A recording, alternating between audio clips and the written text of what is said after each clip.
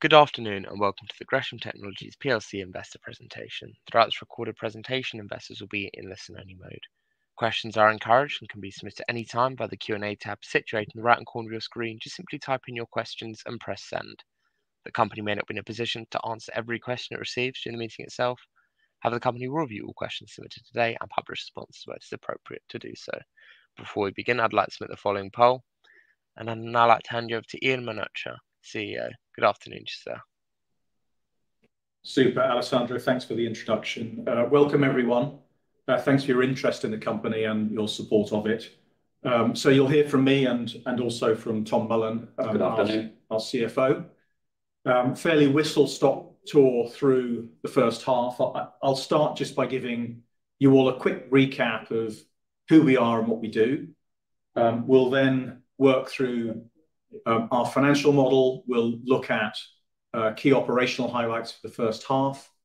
Um, we'll do a little recap on our platform, our technology, and why it's so special and why customers are investing in it. Um, and then beyond that, we'll look at the second half and uh, how we feel about that, which is, I have to say, hugely positive. So we've had a pretty good first half. We're very well-placed for the full year. Um, and the team is pretty upbeat, actually. So starting off with Gresham as a glance. Um, we are a provider of technology to financial markets, and we provide control and automation solutions. Um, and the purpose of our engagement with customers is to help them digitize their operations and give them complete confidence in their data and their day-to-day processing. In good times and in bad times, this is a key area of investment for financial institutions. Um, so let's talk briefly about our platform, first of all. We're an enterprise-grade, bank-grade software-as-a-service platform. In other words, we run in the cloud.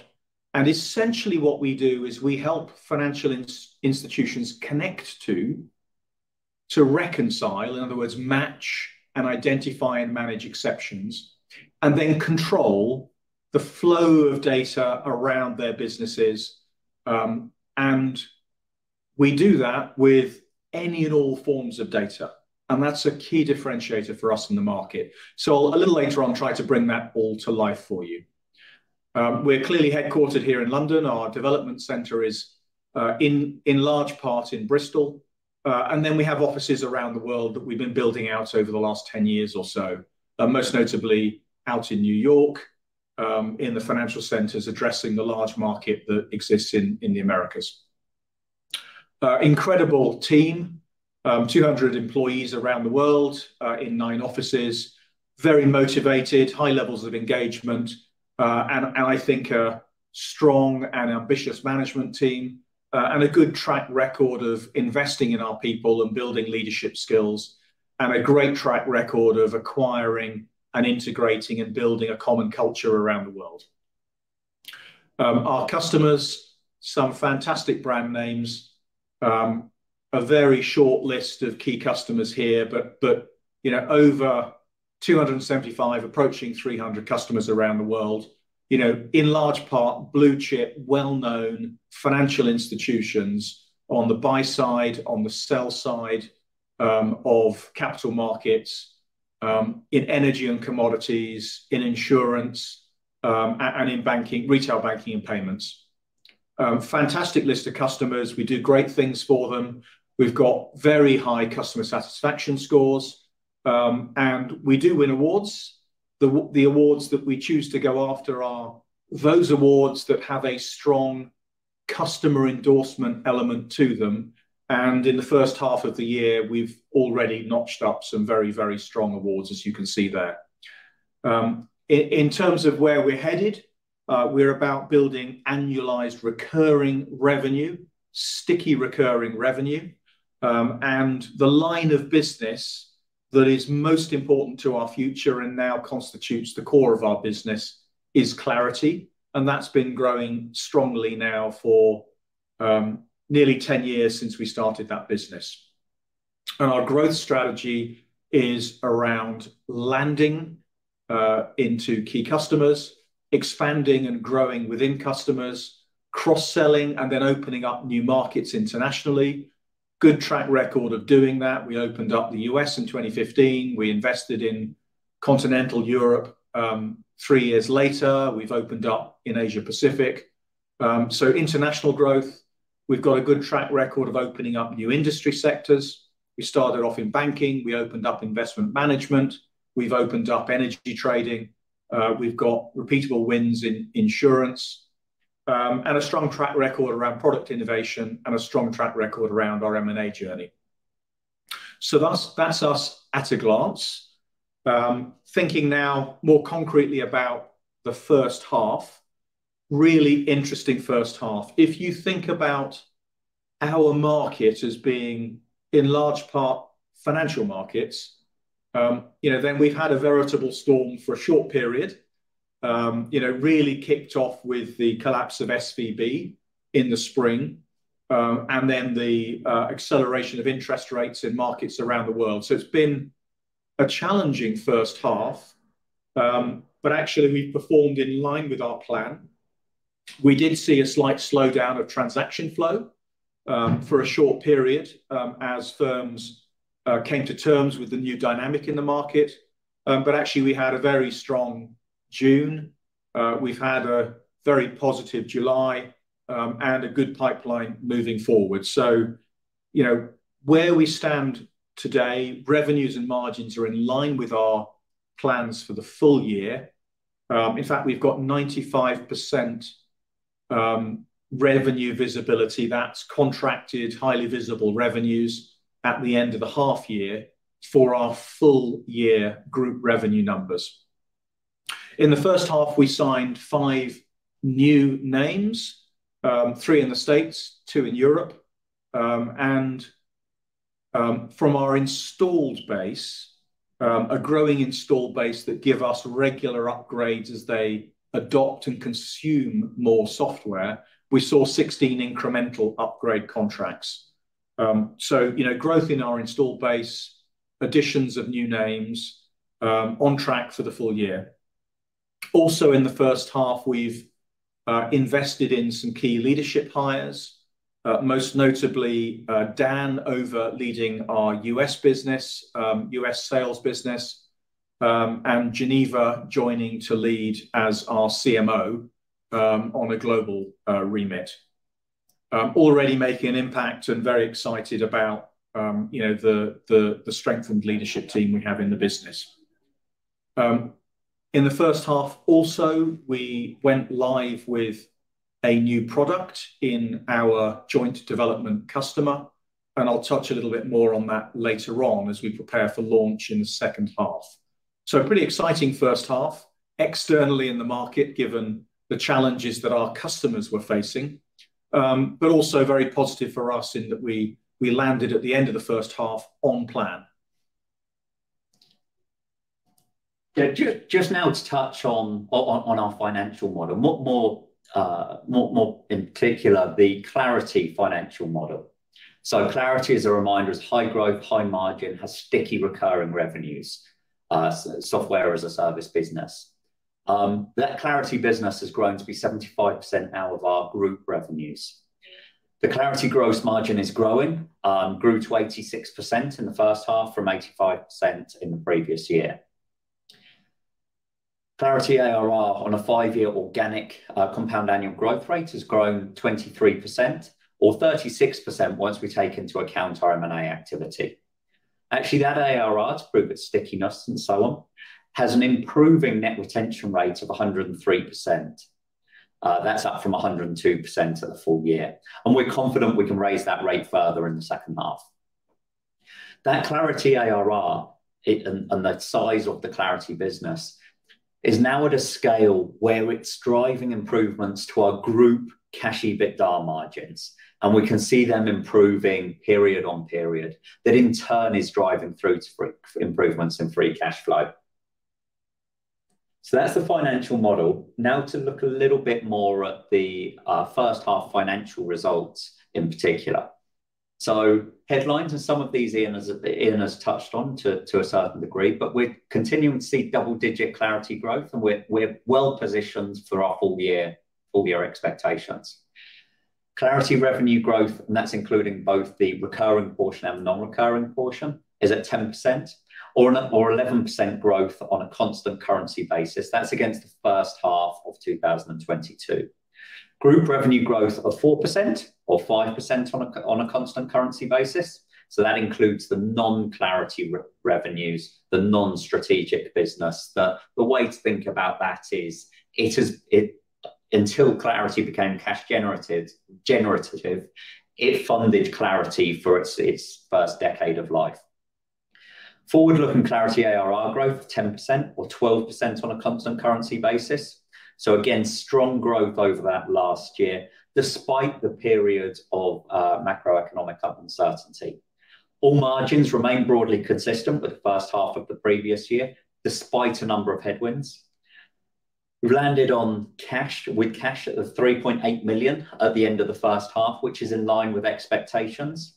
Um, free cash flow is continuing to grow, and that is, of course, after taking into account the $4.8 million US dollar payment, contingent consideration in the second half of 2022 in relation to our acquisition of Electra in 2021. As Ian mentioned, we've got really high visibility of our group contract, of our group revenue number for the year. Under contract, we've already got certainty of 95% of those revenues as at the half year. We're expecting significant margin improvement in the second half, which is aligned with the traditional second half weighting of the Clarity business. And we've also we've also got a really solid pipeline of new opportunities, just really giving us confidence that uh, that 5% gap can absolutely be met, um, and our full year expectations will be met. So our most important metric, that Clarity forward-looking ARR number. Um, the left-hand side of this chart is very much looking at half-on-half Clarity ARR numbers on an actual currency basis. We previously mentioned the five-year ARR CAGR of 32% or 23% when on an organic basis, once we strip out the impact of M&A. There's obviously been significant FX impact over the most recent six-month period, which is identified on the on the left-hand side there with the Um, seemingly uh, 2 million increase in the second half last year, dropping to a 0.5 million increase in the first half this year. However, once we strip out the impact of FX and look at this on a constant currency basis, which is shown on the right-hand side of this chart, we can see that actually the underlying constant currency growth is very consistent, 1.1 million, 1.2 million, 1.1 million, um, despite that period of macro market uncertainty. And the pipeline and improving market conditions, as Ian has described, really give confidence in us lifting that growth rate in the second half. So now to see how that Clarity business and the growth of it is continuing to build on group cash positivity. So this is looking at uh, Clarity revenues on the left-hand side on a trailing 12-month basis, but at six-month intervals. And we've done that because the Clarity business is second half weighted traditionally, and that takes out the uh, normalizes for the second half weighting of that existing Clarity ARR. So you can see the impact of the Electra acquisition during 2021, and then the pretty consistent growth on a trailing 12-month basis basis since then. You'll see the recurring um, amounts coming through being the orange bars, and then the non-recurring, which is pretty much all services work coming through as the as the dark blue bars there. On the right-hand side, we can see how that translates into group cash EBITDA and equally Clarity cash EBITDA. As a reminder, when we talk about cash EBITDA, we're talking about traditional EBITDA, less the less the capitalized R&D spend and less any capitalized leasing spend, which we think is a better reflection of the ongoing costs of our business and of course, a better proxy for free cash flow. What you can really see there on the chart on the top right-hand side is the impact that the Clarity and growth in the Clarity business and growth in the Clarity margins is having on the group level cash EBITDA. With the mm. chart on the bottom there, we can see continued improvements in margins, both at a group level and uh, Clarity level, and that's despite the currency and inflationary headwinds that have been faced in the previous six months. So now just to turn attention to free cash flow generation. And much like our revenue, our annual free cash flow cycle is significantly H2 weighted. What we've done here is taken the cash position at the end of each uh, uh, of the most recent uh, six-month periods. That's the dark blue bars. And splitting, the bridging that between what is free cash flow and what is other cash flow. For these purposes, we've included within free cash flow all of obviously our operating cash flows. We've included all of our capital expenditure. That's both R&D related and traditional sort of tangible fixed asset purchases. Includes leasing payments, but it does exclude tax, um, both payments and receipts, and any exceptional uh, payments and receipts. What we can see there in the second half uh, of each year, or sorry, in the first half of each year, is traditionally in the first half, we are winding down cash balances, and our free cash flow is actually uh, negative in each first half. But we can also see that -2.3 million moving to a -1.3 million, moving to a -1.8 million, moving to, in the most recent period, -0.7 million, being our best free cash flow performance in the first half that we've had uh, since the inception of Clarity. And that's a trend that we expect to continue. You can also see there the very traditional second half weighting, a second half being far stronger um, uh, in each annual period. And we expect that trend to continue as well. And we expect the free cash flow in the second half of 2023 to be even stronger than that 4.5 million in uh, 2022. You can also see in the -4.7 million uh, other cash flow bar in the second half of 2022, the payment of the first contingent consideration payment for the Electra acquisition, um, which was $4.8 million worth. And uh, just to confirm that we do expect to be making the payment of second and final contingent consideration for Electra, again, of 4.8 million, actually in the coming months. Um, The end cash balances are all aligned with expect with our expectations. And at the point of the Electra acquisition, we did put in place a $15 million US dollar revolving debt facility, um, which is expected to be drawn on to a limited extent during Q3, which the end of Q3 is our traditional low point in the working capital cycle for the year as cash builds up again throughout Q4. Um, and That's just a reflection of the fact that so many of our contracts, the vast majority of our recurring contracts, are paid in annually in advance, and many of them are either calendar year weighted or were won during Q4, so uh, coinciding with each each year's anniversary. So just a word on confidence in the full year. Ian's already mentioned this, but we've got absolute confidence in those full year group numbers that are in the market. Um, the contracted visibility that we already have over group revenues of 95%, we've already mentioned. Um, we have a further increased weighting in 2023 of the recognition of our ARR uh, in H2. Um, within our ARR, we have a portion Um, that is in fact the largest portion by some weight that is recognized monthly, but then we have a portion that is recognized annually.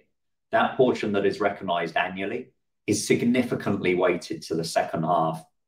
Um, in the prior year, it was 1.3 million weighted to the second half. This year, it's grown to being 1.6 million weighted to the second half. So again, that gives us confidence uh, in the full year Uh, group revenue numbers and also our ability to really increase the uh, earnings in the second half. Ian's also already mentioned the Q2 being a significant improvement on Q1 and the momentum coming through there. Got a really encouraging pipeline of second half opportunities. And uh, we we've already mentioned the really strong momentum we're seeing in the U.S. market, in particular on the buy side, and in particular with the with our new sales leader who who joined the business two or three months ago. So just moving on now to talk about our market and solutions. Back to you, Ian. Yeah, thanks, Tom. So I guess a little bit of a recap for everyone. Really on one slide, Um, you know, what do we do for customers? Um, and if we go left to right on this, really the customer challenges at the board level within financial services around the customer experience, you're continuing to drive innovation at the product level and service level to differentiate um, the complexity of financial services nowadays. Um, and then specific challenges, um, perhaps less so on the, you know, given the uh, improving interest rate regime for the banks for the for the sell side, but absolutely real concerns around liquidity and cash management. Uh, and then the ongoing challenges of meeting regulatory requirements, whether they're um, risk-driven or trade and transaction reporting for trade-driven uh, transparency. Um, the plethora um, of regulations is only building. And off the back of what we saw in the U.S. Uh, with SVB and the like, you know, there's increased momentum around that. You know, and structural changes like the move towards towards T plus one settlement. Um, you know, so there are ongoing drivers for our customers that are strategic board-level issues. And at the day-to-day basis, they struggle with data and processing that is not always completely accurate.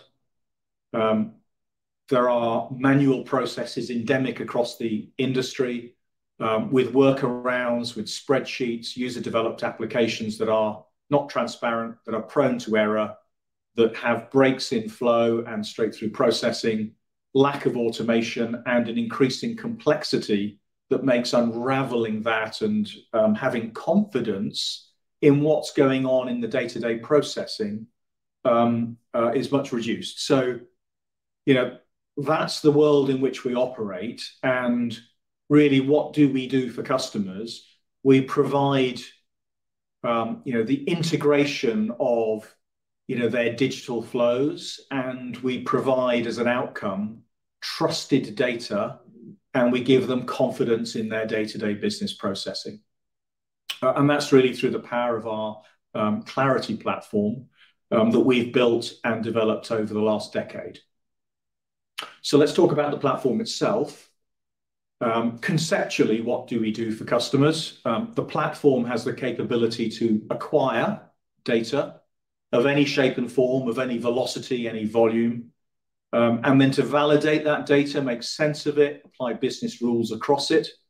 But then for the purposes of reconciliation and identifying where there are problems in the data, inconsistencies, data quality problems, error, and sometimes compliance and sometimes fraud-related issues, um, we need to do a reconciliation. And that's essentially about matching the data and then providing an environment to manage exceptions.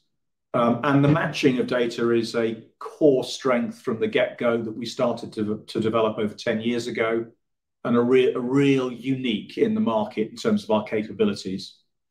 And then downstream from that, managing exceptions, managing groups of exceptions that form part of investigations, and then publishing data to interested parties or um, providing clean, uh, reconciled data to downstream systems. And our platform enables customers to deliver that process on a straight-through basis, to optimize it, to document it, to automate it, Um, and ultimately to continuously improve the quality of their data and their processing. So that's conceptually what we do. Um, and if we just move to the next slide, you'll see that in that platform, we have got some real product strengths and some unique capabilities.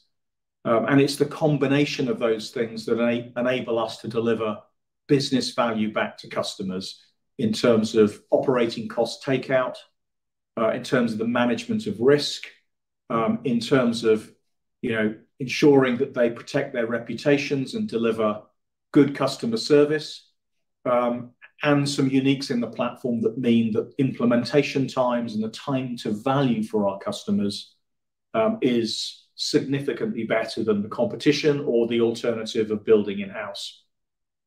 You'll see on the list there some of the product capabilities. I won't read them all, but essentially, we don't care about the kind of data, and I'll explain why in a second. We can handle data flowing in batch, in real time. Intraday is increasingly important. We can match any number of feeds of data, um, and then the platform itself is configurable um, and highly scalable and can operate in the cloud, whether it's our cloud or the customer's cloud. So the combination of strengths means that the business value from working with Gresham is significantly stronger than the alternatives. Um, really, just to put into context some of the things that we have done over many years in our platform um, that we would now call AI um, and some of the future opportunities. So if you think of this as what do we do left of the match of data, Um, we've built out capabilities to um, use natural language processing to describe the rules that one would use to ingest data. Um, we released that about a year ago. We've long been using heuristics uh, and semantic inference to drive out match rules for matching of data. You know, the system uses AI to resolve symbologies, so to identify where there are um, different um, standards in the formats of data. And the system inherently learns and suggests match rules as opposed to those being um, needing to be identified manually and coded manually. And so that automatic normalization of the data and the building of the technical schema, the database design that enables the data to be matched, that's all done by the system. And so that you know, use of AI from the get-go was you know, very visionary on our part and you know, is deeply embedded in our platform. And we built on that, looking at the uses of AI and machine learning on the right-hand side of the match um, You know, by looking at how the learnings from manual matching patterns can be used Um, to suggest future actions, the use of machine learning to allocate breaks and identify the root causes of breaks, um, using pattern detection to really categorize those breaks and get further intelligence so we can improve. Um, and you know, ultimately, where we're heading here is the automatic repair of data and the automatic improvement you know, of uh, the quality of data. So all of that is a uh, really an endorsement of the ongoing innovation that our um, technical teams um, have had really um, you know, since we first started investing in Clarity. So I think on the platform, let's talk now to our other key strength, which is our team. Sure. So uh, scaling up responsibly is something we've committed to a number of years ago and continue to put high on our agenda. Um, we we have an employee senior management team, executive, uh, non-executive, and other stakeholders engaged in all of our uh, responsible business-related and ESG-related programs. We've got a network of ESG champions fully operational um, with both cross-functionally, cross-regionally. Um, we're continuing to monitor the ongoing effectiveness of our hybrid working model.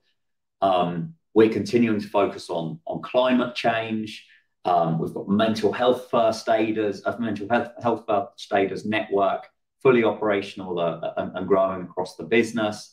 Um, uh, and we do an annual engagement survey every year, um, 60 or 70 questions that are the same each year, the results of which are on the right-hand side there. And we've reported on this each year. We're very proud of it, the fact that our scores have grown year on year. We will do this again next year.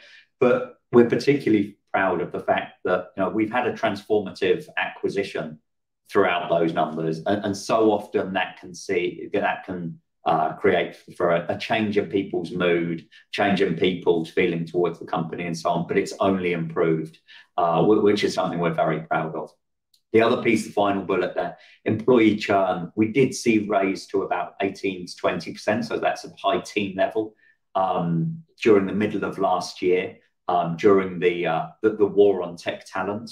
But we have seen that reduce back to what we think is normal and very healthy levels, actually, of those sort of low teen type numbers of 13%-14%.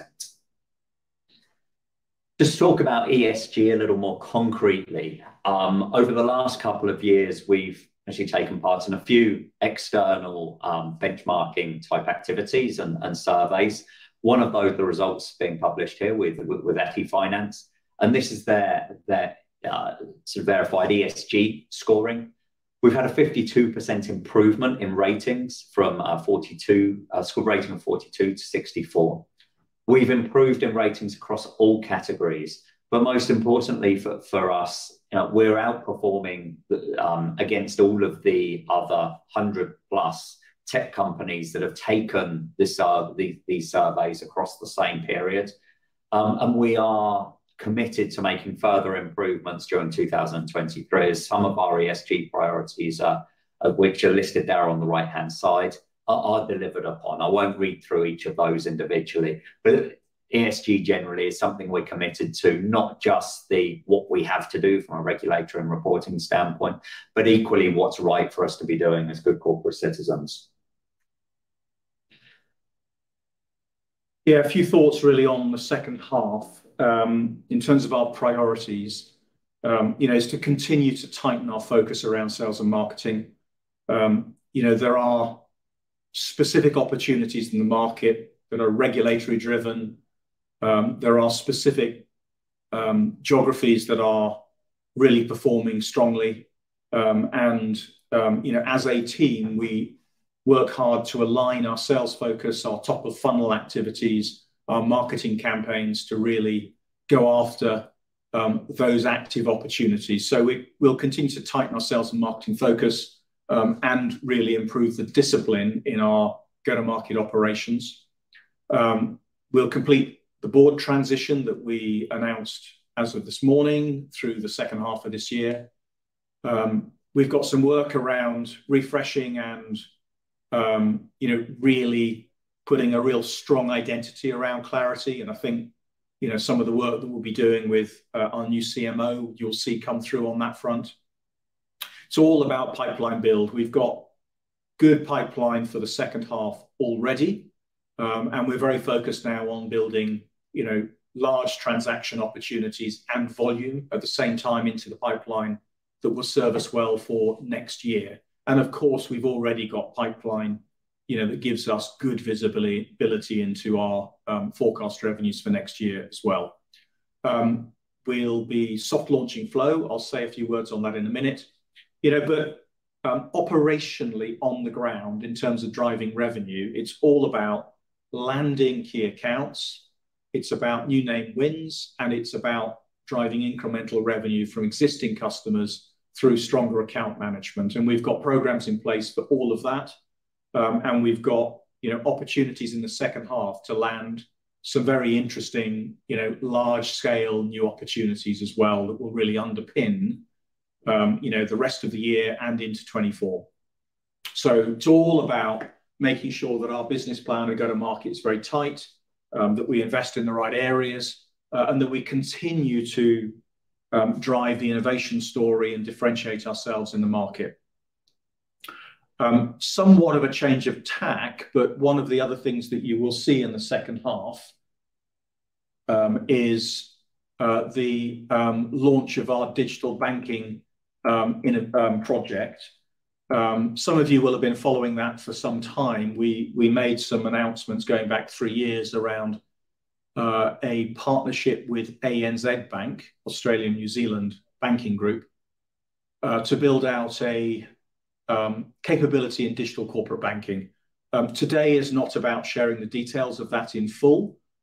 This is a little bit of a teaser to say that after three years of work, Um, ANZ has gone live with that product. Um, and um, they're working with their first customer of that product, and we're working with them towards an announcement in a couple of months' time. So, we'll be test marketing that in September to make sure we got the messaging right. We have a launch plan for October. We would expect to be updating um, our shareholders um, with a mini capital markets day in the October timeframe. We're very excited about this. Um, just to give you a sense of where that really fits, if you think about the innovation that's gone on in retail banking, you know, the use of digital, the use of APIs to drive banking services, there's not been enough of that innovation in corporate banking, and that's really where we've focused to build something very specific and very exciting. So you'll see more of that in the second half as well. So I guess that's a bit of a wrap in terms of um, overview of us as a company, what we're about, overview of the platform, um, how we felt about the first half and some of the key achievements, um, where we're headed for the second half in terms of you know the optimism around our Um, full year number and what we're doing also to build out for 2024, uh, and then some excitement around where we could be heading longer term. So I think that's a good point just to do a quick summary before um, I head back to you, um, Alessandro, for the questions. So yeah, in one slide, really, highly differentiated software. It's proven at scale. We've got some fantastic references. As Tom was describing, it's very sticky, very you know, recurring revenue. Um, and we're in um, a hot market, a growing market. Um, we've built out over the last few years our global operating platform. We built out our franchise through organic and acquisitive growth and got a good track record now of doing both. Continue to invest, and we've got a great track record of building really interesting, relevant offerings for our customers. Um, all of that's led to a predictable, profitable, and increasingly cash generative business. Um, and I hope today you've got a sense of the kind of upbeat and ambitious team, and we've been delighted to bring some new team members on um, in the first half as well. So thank you for that. Alessandro, I'll just pass back to you, and uh, clearly we can follow through on some of the questions. Perfect. Ian, Tom, thank you very much for your presentation. Ladies and gentlemen, please do continue to submit your questions just by using the Q&A tab, which is situated on the top right hand corner of your screen. But just while the company take a few moments to review those questions that have been submitted today, I'd like to remind you that recording of this presentation, along with a copy of the slides and the published Q&A, can be accessed via your investor dashboard. Ian, Tom, as you can see, we've received a number of questions throughout today's presentation, and if I could just ask you to read out those questions and give responses where it's appropriate to do so, I'll pick up from you at the end. Yeah, definitely. So um, we'll just try and pick these off. And um, I think one of the first questions actually came up when Tom was talking about um, net revenue retention. And I know we published some much more detail around this at the full year, didn't we? We did. So the question is with regards to uh, gross revenue retention, in particular for the larger accounts, those bigger than a quarter of a million per annum. And equally, could we split uh, net revenue retention between uh, those larger accounts and the smaller accounts? And as Ian says, on a full year basis, we publish some of those. Um, in terms of gross retention rates, the most recent time we published that was probably 18 months to a couple of years ago now, and it was low to mid-90s. I think 92, 93% was probably the last time we published it. And it really hasn't moved significantly since that point in time. But what I would say is that the uh, the the rates on gross retention and the differential between the larger accounts and the small small accounts is not as significant as it is on net retention. Gross retention, I'd say, is is maybe slightly better on the larger accounts, but not significantly so. If we take that and move that over to the smaller accounts, those less than quarter of a million per annum, the difference is quite significant. So our ability to grow um, those larger accounts and the certainly at the full year, our net revenue, net ARR retention rate for the accounts bigger than a quarter of a million was up at 120%. For the smaller accounts, it was certainly more at that 100% sort of level, although it wasn't uh, disclosed in particular. So there is a bit of a difference there. But all in all, our net revenue retention of 103% across the base um, is where we are as at the half year. And we've got a high level of confidence that we can further lift that rate in the second half. Um, okay. There's a question here um, really around the competition. And the question was, scroll up. Yeah. So the question, I'll read it out. Which of your competitors do you most respect um, or fear? Uh, well, I have to say we respect all of our competition um, because they've all found uh, a way to um, build their businesses. And one should never be complacent. In terms of the competition that we most fear, I would actually say it's the customer themselves because Um, our proposition um, challenges the customer and um, often expects them to think differently about the way that they solve their problems. And you know, quite often, we do find that customers are not ready for change. So I think that's probably the main thing that is of concern to us. When we compete, and it's typical for us to go through in financial markets, all of our customers operate in a regulated world. They all go through an RFP process, a request for proposals tendering process. They all go through a proof of concept process. We do exceptionally well. Um, and um, you know, some of that comes back to um, the the list of product strengths that I referred to earlier on. So as we progress, Um, on a on a competitive basis, product strength, we are, um, you know, when considered as a whole, by far and away the strongest offering in the market. Um, we're not in all uh, opportunities, and that comes down to our sales and marketing coverage, which we're building.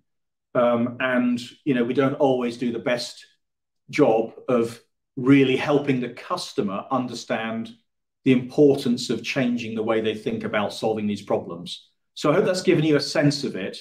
Um, that kind of leads a little bit to um, another question that was um, further up, which was really around you know the use of AI. And you know does Clarity learn and suggest match rules across customers, and do other reconciliation products also learn? The use of AI is interesting. I think almost all of our competitors have an AI story of some form now. Um, and you know, across our hosted customers, we see 19 billion transactions um, a year. So we get great learnings across that. Um, in our on-premise customers, they process huge amounts of data as well. So we have the opportunity to learn from very substantial pool of information. Um, but the the rubber hits the road really, not in whether we use AI and how we use AI, but what's the outcome. Um, and consistently, time and time again, whether it's a proof of concept or in um, live deployments, we get better match rates, and we get you know, better performance on exception management. And that's really the important thing for our customers. So that's what saves them money, and that's really what they want as an outcome from from the use of AI. Um, now, I've not mentioned our competition in um, going through that explanation, but what I would leave you with is is really in the marketplace, there's only um, four players in the market. There's SmartStream, there's FIS's IntelliMatch product, uh, and there's Duco. And we've replaced all of those in customer sites. And we've consistently got strong performance and strong results. So we respect our competition, but we don't fear them. It's all about doing a better job ourselves to get over the power of what we can do for customers. Um, yeah. There's also a question here Uh, do we anticipate being able to increase pricing at least in line with inflation? And short answer to that is yes. Um, slightly more flavor on that. All of our uh, Clarity contracts allow us to increase uh, increase pricing by an inflationary linked level. There are different flavors of exactly what that means. Um, sometimes it's inflation plus, sometimes it's inflation to a cap, sometimes it is inflation, sometimes it is a fixed increase year year on year that we've pre-agreed regardless of what what inflation is. But but in short, yeah, we are confident of being able to to, to increase yeah, at least with with inflation with, with inflation levels um, as as they sort of are now. Um, and then we've got another question around Flow. What's the structure of the partnership with ANZ on Flow, and to what extent can Flow be cross-sold to existing customers? Um, yeah, great great question. Um, over the last few years, we have made some announcements um, related to the partnership with ANZ. I think to summarize, you know, ANZ have uh, funded at cost the uh, product build, and the IP for that product sits with us. Um, ANZ have obviously provided their business inputs to that, um, and uh, ANZ use the technology on a standard commercial license basis. Um, the way that that license is structured is with ANZ and with future customers is really around the number of transactions that flow through the software. Um, so we effectively get click fees. Um, and the target market for Flow um, is into other transaction banks and certain financial market segments.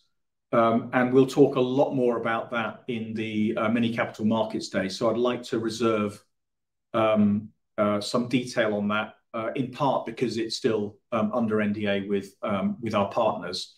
You know, but Um, we are going after um, financial services customers, um, and undoubtedly, some of our existing clients in different parts of their organization will have an interest in what we're doing. So you know, we absolutely will be able to leverage you know, our reputation for doing good things in financial services for the future sale of this.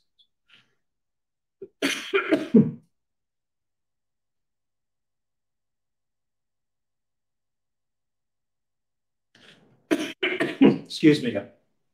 May I say the name? Can I get your water? Yes, thanks, Tim.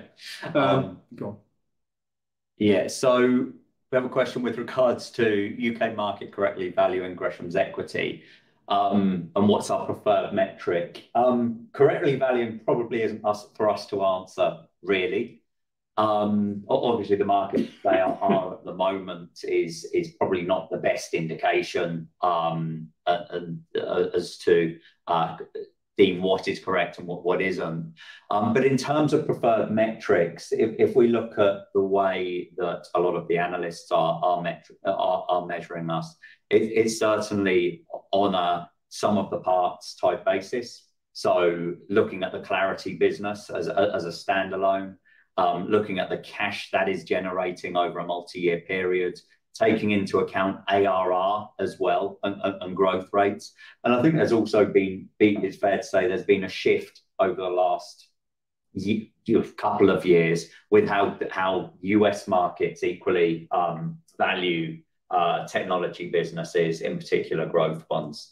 Um, so you know, I have some personal views as well, of course, on that, but uh, probably not not really one for us to to answer any more than that.